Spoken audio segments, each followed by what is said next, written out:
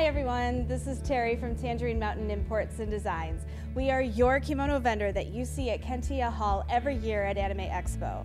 Now, unfortunately, we can't be together with you guys again this year, but the folks at Anime Expo asked us to curate a special exhibition of kimono that fuses together historical pieces and ensembles that represent some of your favorite characters from some pretty popular series like, oh, I don't know, Demon Slayer or Sailor Moon or Rurouni Kenshin. You know, just minor shows like that, right?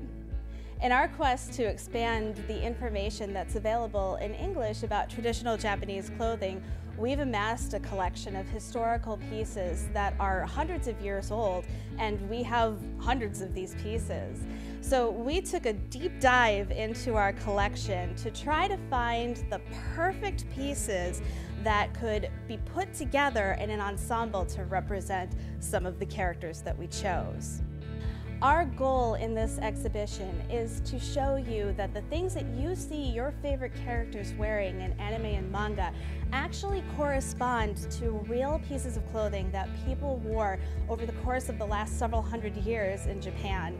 Also, we have a special treat for you. It's one of our newest acquisitions, and it forms some of the foundation of the kimono that followed in the centuries after. So we're going to be showing you a kosode from the 1700s. Thank you for tuning in to this special exhibition brought to you by Tangerine Mountain Imports and Designs and Anime Expo 2021. We hope that you learn a lot about kimono through the lens of your favorite anime.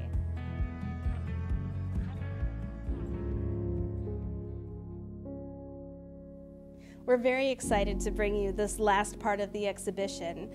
It's been our goal at Tangerine Mountain to keep expanding our collection of historical garments as far back in time as we possibly can, to include kosode, which were basically the forerunners to the kimono as we know it. Many of our customers over the last several years have asked us how to cosplay characters from shows like Inuyasha, but it's a little difficult to do with modern day kimono because the garments that were worn prior to the 1600s were really rather different than what is worn today. The modern day kimono is constructed differently than the way that the kosode was constructed in the 1500s into the 1600s. The challenge with cosplaying characters that were from the 1800s on back is that the clothing that they wore was in many cases substantively different than the modern kimono.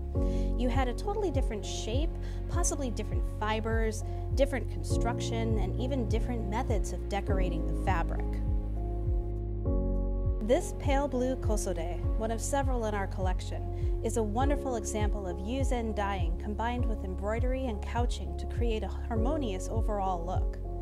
The body panels are a similar width to the sleeve panels, indicating that it likely dates to somewhere around the mid 1700s. The soft crepe sports paste resist dyed flowing water, dewy grasses, bamboo, pine, and more, while embroidered details convey a sense of refined delicacy throughout the kosode. Tiny birds flit around couched lattices, demonstrating the masterful skills of the kosode's creators. The bottom is padded, which was done to help the kosode flow and trail smoothly around the feet of the wearer. The term kosode refers to small sleeves, meaning the small sleeve opening at the wrist of the garment. Kosode gradually evolved from an undergarment to an overgarment during the Muromachi period from the 1300s to the 1500s. They went from being a plain white, wide bodied robe to a decorated but still wide bodied robe. There are several key differences between the kosode and the modern kimono. Kosode started out as having wider body panels than sleeve panels, because of the wider body panels, the sleeve seam is located further down the arm than in the modern kimono. The armpits of the sleeves are closed and have no furi or detached waving part of the sleeve like modern kimono have. Modern kimono for women are designed to be long so that they can be tucked up into an ohashori fold at the waist, but kosode were not intended to be tucked up. Many decorating techniques used on modern kimono either didn't exist or weren't used in the same way during the 1300s through the end of the 1600s. Since kosode at this time were generally worn by the nobility and samurai families, the fabric was gloriously decorated with various types of embroidery, including couching, in which metallic threads were laid on top of the fabric and attached in designs using tiny stitches. Modern kimono also can incorporate embroidery and couching, but most are not nearly as sumptuously decorated in such a time consuming manner as the kosode of centuries ago. A technique that revolutionized the kosode toward the end of the 1600s was yuzen dyeing. This technique of paste resist dyeing was invented by Yuzen Miyazaki in the latter part of the 1600s.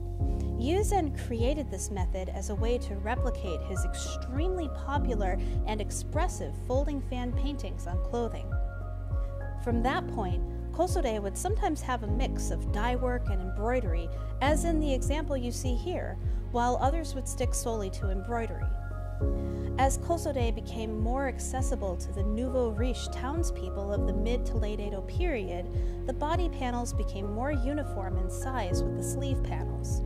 This method of construction was more economical, as the kosode could be made from one bolt of narrow width fabric. Nobles responded to the upstart chonin or townspeople by passing sumptuary laws. The chonin then found workarounds to them by making the obi wider and more prominent. Therefore, the bottom of the sleeve had to be separated from the body panels to accommodate the obi, more so for women than for men. Eventually, the term kosode fell out of favor, replaced by terms like kimono, which means thing to wear, and wafuku, which means traditional Japanese clothing, as opposed to yofuku or Western clothing. All of these differences are why it's so important to keep in mind the type of garment you're trying to create when cosplaying. While modern kimono are versatile and can be used to create a huge variety of looks, it's pretty much impossible to accurately replicate the look of a centuries old kosode using modern kimono.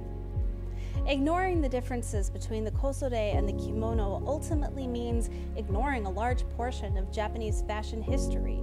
A lot of that history happened as a result of tensions between the classes, and these tensions ultimately culminated in a civil war that basically shaped the trajectory of the nation of Japan even through today.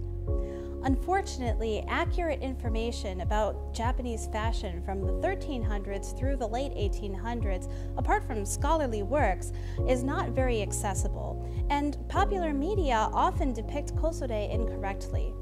Hopefully, this segment of our exhibition will help you to understand a little better that Japanese fashion has always been dynamic and not static, and why things evolved the way that they did, so that you can become more informed about the media you consume and the characters that you cosplay.